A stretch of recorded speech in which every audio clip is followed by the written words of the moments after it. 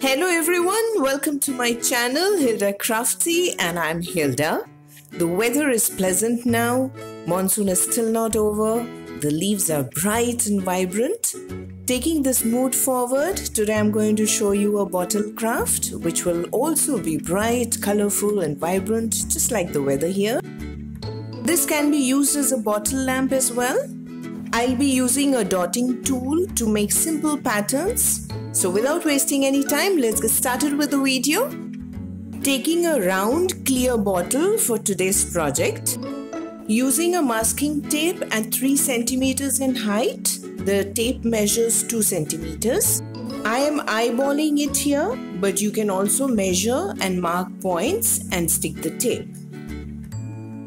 By using a masking tape, we will achieve neat straight lines which will enhance the look of our project. Okay, now using rubbing alcohol with a cotton pad to wipe any grease stains before applying the paint to get a smooth color application. Take a good amount of paint on one side of a flat brush and color the uncovered area.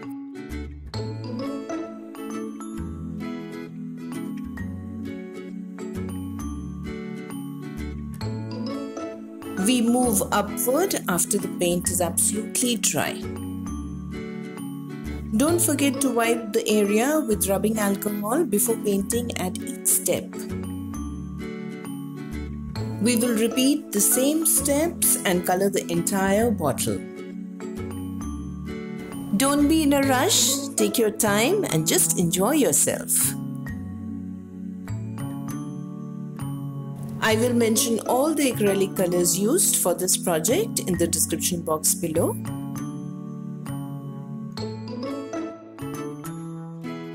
Make sure the tape is well stuck at the curve.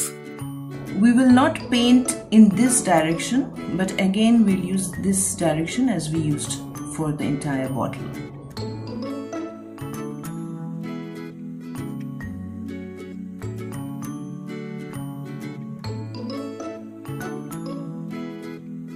We will let the paint dry completely before we do a second coat. I like using a sponge dabber to paint, but here I chose to use a brush as it leaves a lovely shine behind which I'm looking for in this project, while a dabber leaves a lovely texture but a matte look. Let the paint dry, then we'll remove the masking tape.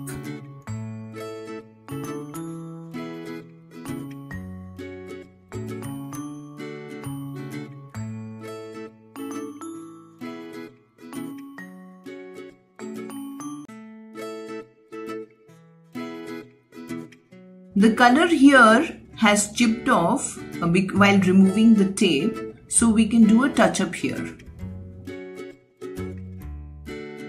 Now we can leave the bottle at this stage and we can put some lights. I'll just show you how it looks. Mentioned all the items used for this project in the description box below.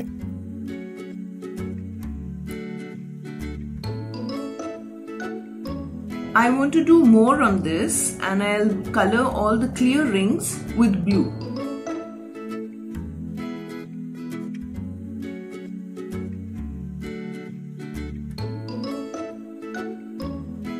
We can leave the bottle at this stage as well and it will look lovely with lights.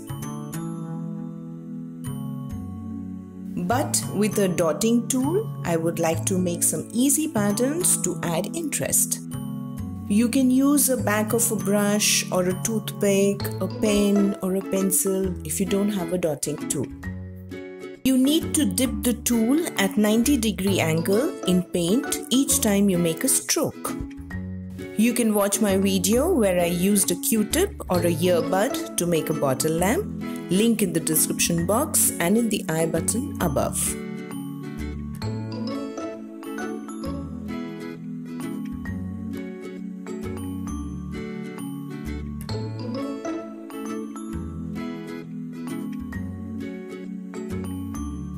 Smaller tip to make dots and complete the look. Allow the paint to dry for some time before moving on at each step. Take the paint, put little pressure and release for a perfect stroke.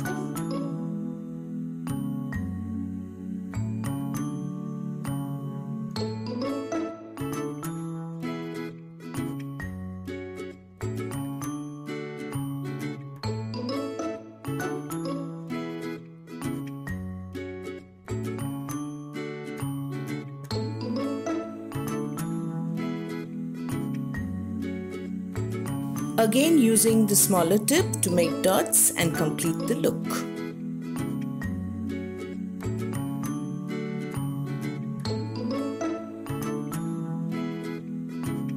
If you're new to my channel, then you can watch my other interesting videos on bottle lamps, link in the description box and in the i button above.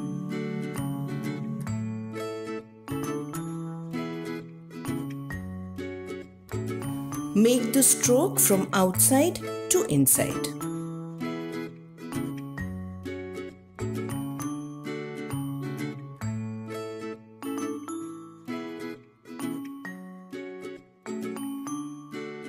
I really enjoyed myself doing this DIY.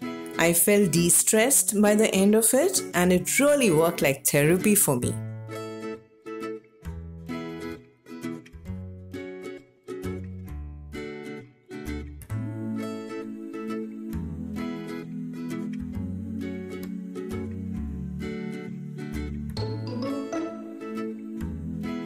Here I'm making simple diamond shape and then fill it with color and add orange dots at the four points.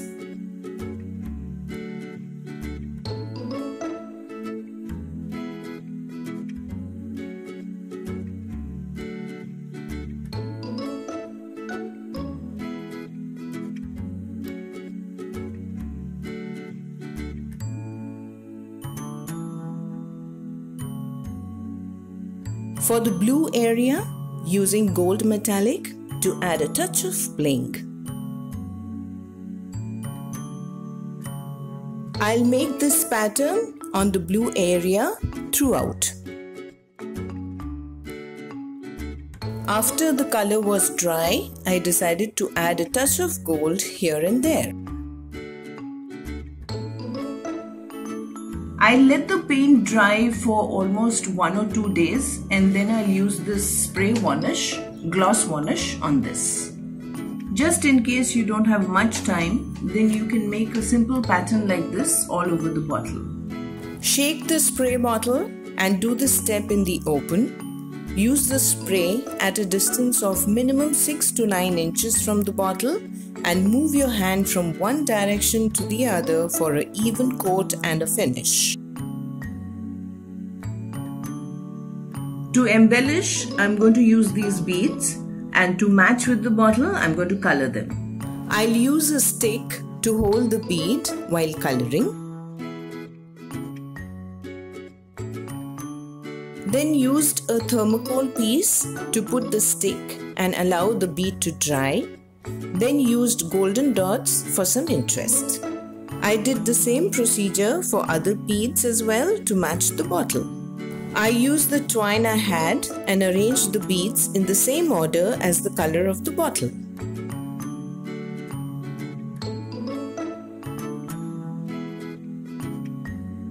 and tied a knot to secure the beads. I feel the beads are complementing the bottle very well. For the other one, I'm using silicone glue to secure the twine. I had these cute Jaipur dolls which I feel will look really cute while placed near the bottle. This is all for today. I hope you enjoyed my video. Do like, share, subscribe and press the notification bell I will come back with another interesting video. Until then, bye bye, take care, and I love you all.